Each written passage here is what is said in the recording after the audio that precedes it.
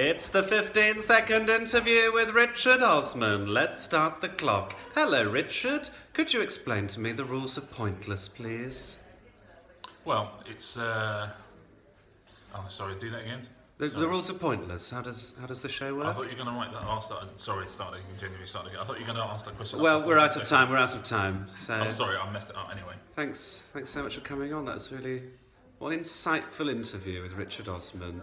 We'll be back again. Bye bye.